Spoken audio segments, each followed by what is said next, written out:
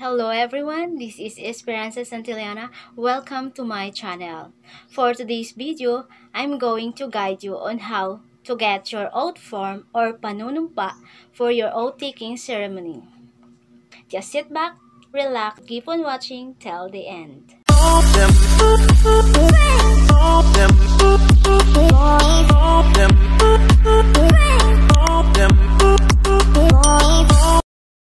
Okay guys, wag na po tayong magpatumpik-tumpik. Let's get started. The things that you need to do to get your oath form or panunumpa for your upcoming oath-taking ceremony are the following. You just need to log in on your Theris PRZ account. Number two, you select transaction, choose oath. After that, as you can see, meron pong oath type. Piliin nyo lamang po kung ano po yung choice nyo. Whether face-to-face, special, or online oath taking. Halimbawa po, pinili nyo po yung face-to-face, mass oath taking. You just need to click face-to-face mass oath taking. Fourth, what is your profession? If you're a teacher, choose professional teacher. Fifth, put your NOAA application number. And then sixth, click proceed. And there, kailangan nyo pong pumili kung saang place po kayo or venue po para doon po kayo mag face-to-face mass o taking kung saan mas malapit lang po sa inyong lugar. And seventh, go to your existing transaction. Then, open nyo lang po yung uh, oath form. Tapos, i-download nyo po. After you downloaded, you need to print it out. Wag po kayo, wag po yung screenshot lang kasi minsan yung policy is strict, minsan hindi. Depende po sa naka-assign na personnel who's responsible to check your documents or the requirements you need to bring or present on the day of your oath-taking ceremony. Idagdag ko na rin po, after that, punta po kayo sa official Facebook page ng school kung saan po yung venue ng inyong face-to-face mass oath-taking ceremony. Para po malaman nyo po kung kailan po kayo pwede na makabili ng ticket for your face-to-face mass oath-taking ceremony. Kasi kung teacher po kayo, um, ang BE Ed and BS Ed is uh, iba po yung um, one at PETSA. Like me, nakisabay po ako sa mga BE Ed before, pero BS Ed po ako. Kaya, ayun. As what I have said from my previous video na uh, morning po yung aking oath taking.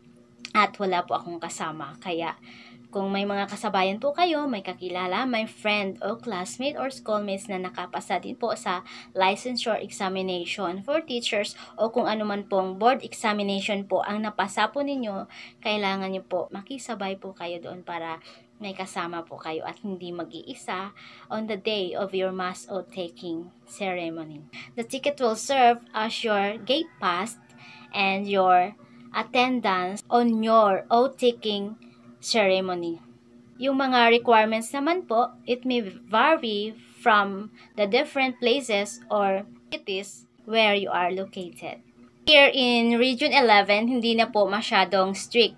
Sa gate pass po, para po makapasok po sa entrance gate, you need to have your vaccination card, printed po, one valid ID, and your oath form, uh, colored po siya ha. Hindi bawal po yung screenshot. And then your ticket. It will serve as your gate pass and your attendance for your face-to-face -face mass oath taking ceremony.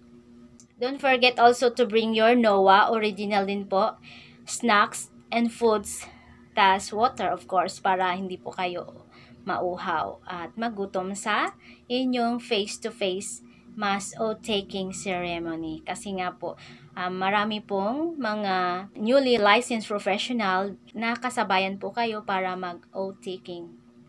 Pagkatapos niyo po nakapasok na, kailangan nyo pa pong pumila para makapasok po sa gym. At hanapin pa rin po sa inyo yung inyong oath form na may QR and then your ticket para makapasok na po kayo doon sa loob ng gym. Oath form po na printed. Wag po yung photocopy kasi based on my experience, I tried to give the photocopy of my oath form. Curious lang po ako. Sinubukan ko lang din naman kung okay lang ba. But yung binigay ko po yung photocopy ng oath form ko, sabi sa akin, tama po ba yung pag-filled up niyo ma'am? Bakit hindi po colored? Sabi ko, photocopy lang po kasi yan, sir. And then, bakit po, sir, bawal po ba? Sabi ko. Then, sabi naman ng kasama niya, hindi naman po, ma'am, it's okay. It's okay lang. Sabi yung ganun. So, hindi na po ako nag-imik. Binigay ko na lang po yung printed na oath form ko po sa kanila. Kasi sinubukan ko lang din naman. Hindi daw po pwede yung screenshot lang. Okay? Dapat naka uh, colored printed oath form po talaga. I hope po na nakatulong po ako sa inyo, ma'am and sir, which is relevant to what are you searching for. Thank you for watching. God bless everyone. Bye-bye. See you next time.